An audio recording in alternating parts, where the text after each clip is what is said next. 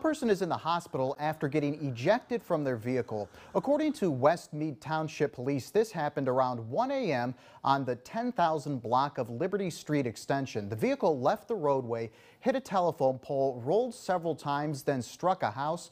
The driver was thrown from the vehicle and was transported to Meadville Medical Center, then UPMC Hamot.